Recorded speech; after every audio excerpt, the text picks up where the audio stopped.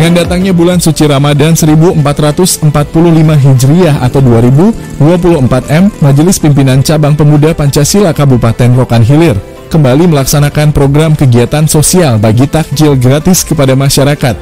Insya Allah kegiatan sosial bagi-bagi takjil gratis ini telah kita laksanakan mulai Kamis hari ini 14 Maret hingga 16 April nanti.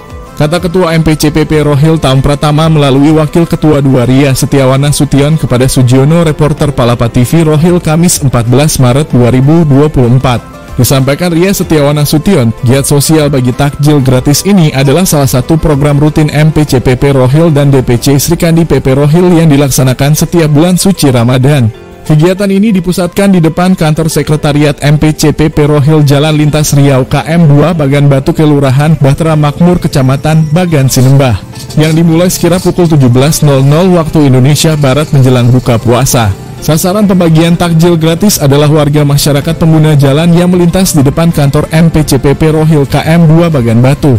Lebih lanjut Wawan menjelaskan, Kegiatan bagi-bagi takjil gratis ini merupakan wujud kepedulian sosial MPC Pemuda Pancasila Rohil kepada masyarakat yang melaksanakan ibadah puasa pada bulan Ramadan. Kita sudah standbykan pesanan kepada beberapa pedagang yang di bagian batu kisaran 5000 porsi terdiri dari varian ada bubur, ada es buah, ada juga nasi kotak. Giat sosial ini dilaksanakan atas kerjasama semua pihak terutama pengurus MPC Sri Kandi, Koti B2P, 3P, 2AC, Sapma, dan Donatur. Sesuai arahan dari Ketua MPCPP Rokan Hilir Tam Pratama diharapkan semua pengurus dapat berpartisipasi dan kontribusi dalam kegiatan sosial ini agar dapat terlaksana dan berjalan lancar. Mudah-mudahan kegiatan sosial ini dapat bermanfaat bagi masyarakat dan PP Rohil semakin dekat dengan masyarakat. Pesan dari Ketua MPCPP Rokan Hilir Bung Tam Pratama diharapkan semua pengurus PAC Pemuda Pancasila se-Kabupaten Rokan Hilir dapat membuat program giat sosial dengan menggandeng para donatur yang ada di masing-masing wilayah. Kita harapkan semua PAC kiranya dapat membuat program sosial di bulan suci Ramadan untuk masyarakat dan mudah-mudahan apa yang kita lakukan ini nantinya menjadi berkah. Dari Kabupaten Rokan Hilir, reporter Palapa TV Sujiono mengabarkan.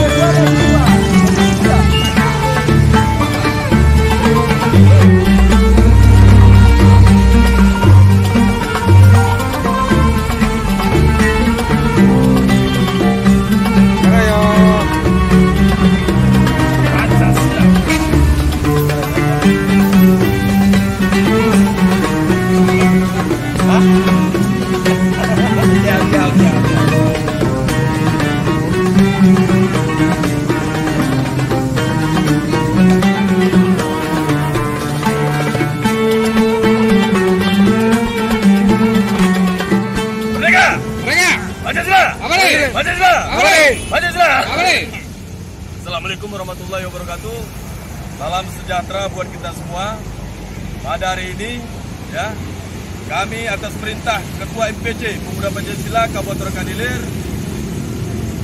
melakukan acara bagi-bagi takjil gratis kepada masyarakat uh, khususnya yang melintas untuk berbuka puasa. Jadi telah tersedia sekitar 300 lebih porsi takjil yang akan dibagikan pada sore hari ini.